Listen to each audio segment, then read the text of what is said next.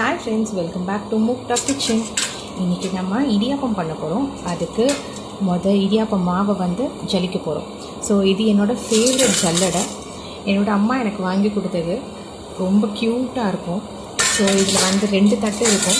ஒரு தட்டு சின்ன தட்டு இன்னொரு தட்டு கொஞ்சம் பெருசு. ரவையெல்லாம் நம்ம இதில் உடச்சிக்கலாம். அண்ட் மாவு ஜலிக்கும் போது இதில் ஜலிச்சிக்கலாம்.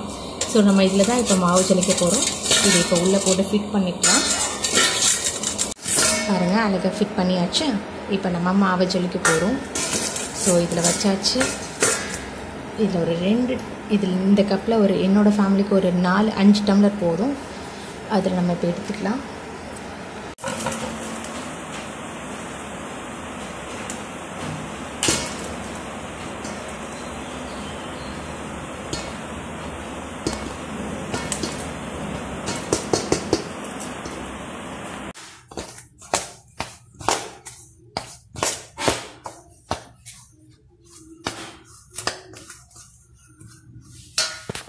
ஸோ இதுலேயே கொஞ்சம் ஆயில் சேர்த்துக்கலாம்.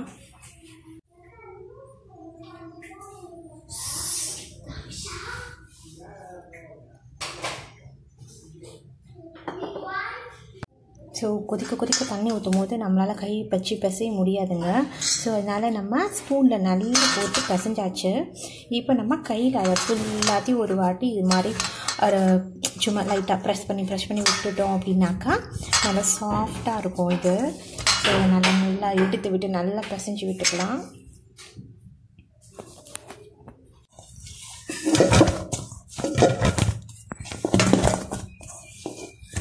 ஸோ மாவு பிசைஞ்சாச்சுங்க இதுதான் பதம். இதை தான் வந்து நம்ம இடியாப்பம் புளியறதில் போட்டு பிசையும் போது நமக்கு நல்லா ப்ரெஸ் பண்ணும் போது நல்லா அழகாக சாஃப்டாக வரும். ஸோ அவ்வளோதான் மாவு பிசைஞ்சாச்சு. நம்ம இப்போ இடியாப்பம் புளியறதில் போட்டு புழிஞ்சிடலாம்.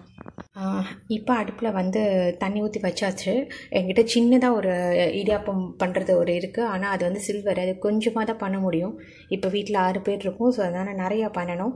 அதுக்காக இந்த பெரிய சட்டி வச்சுக்கிறேன். பிள்ளைகளையும் எண்ணெய் தடவி நல்லா மாட்டி வச்சாச்சு. ஸோ நம்ம இதில் தான் மாவு வச்சு இப்போ நம்ம பசைய போகிறோம் பிழிஞ்சு விட போகிறோம் அதில். இந்த தட்டில் நல்லா எண்ணெய் தடவிக்கோங்க. எண்ணெய் இல்லைனா பட்டர் அல்லது நெய் தடவிக்கலாம். தடவினா நல்லா வாசனையாக வரும். இது கூடயே கொஞ்சோண்டு நான் ஏலக்காய் பொடி வச்சுருந்தேன். ஸோ அதையும் நான் ஆட் பண்ணிக்கிட்டேன். அதுவும் நல்லா வாசனையாக இருக்கும் அதுக்காக. ஸோ நம்ம இப்போ புளியலாம்.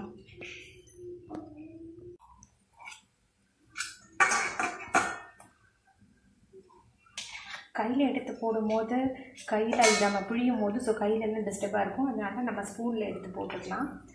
போட்டுட்டு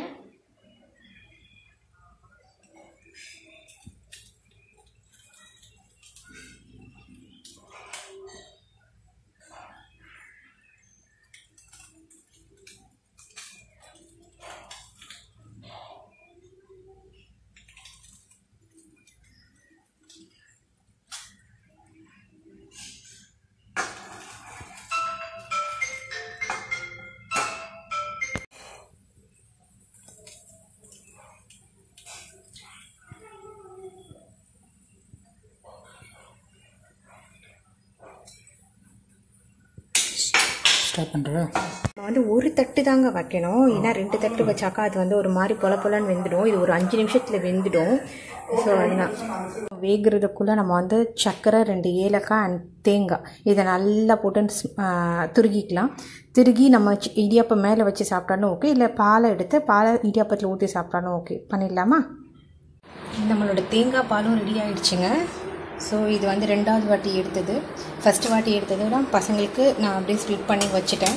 ஸோ இது ரெண்டாவது வாட்டி எடுத்தது. இப்போ நம்ம சாப்பிட்லாம். செம்ம டேஸ்ட்டாக இருக்குங்க. தேங்காய் பால் எப்படி எடுக்கணும்னா நல்லா தேங்காவை அரைச்சிட்டு வடிகட்டி எடுத்துட்டிங்கன்னா அந்த ஃபஸ்ட்டு பால் ரொம்ப சூப்பராக இருக்கும். ஏலக்காய் சக்கரை எல்லாம் போட்டுக்கிறதுனால ரொம்ப டேஸ்ட்ஃபுல்லாக இருக்கும். கண்டிப்பாக சாப்பிட்டு சப்ஸ்கிரைப் பண்ணுங்கள் அண்ட் கண்டிப்பாக ஷேர் பண்ணுங்கள் அண்ட் லைக் பண்ணுங்கள் thank you so much bye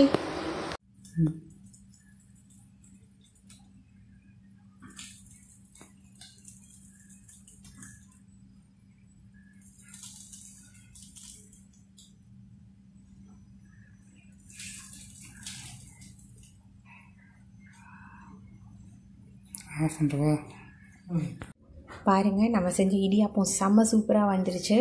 so இதை வந்து நம்ம இப்படியும் சர்வ் பண்ணலாம். இல்லைனா இப்படி இப்படி தனித்தனியாகவும் சேவ் பண்ணலாம். அதனால தான் நான் வந்து தனித்தனியாக பிழிஞ்சு விட்டேன். செம்மையாக இருக்கும் இது.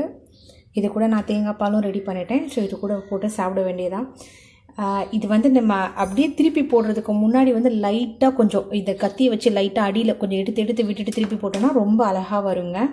அண்ட் இடியாப்பம் அவிக்கும் போது ரெண்டு தட்டு ஒரே சமயத்தில் அவிச்சிங்கன்னா அது சீக்கிரம் வெந்துடும் பட் வந்து ரொம்ப ஒரு மாதிரி நொச நொசன்னு போயிடும். அதனால் ஒரு ஒரு தட்டாக அவிச்சிக்கிறது ரொம்ப நல்லது.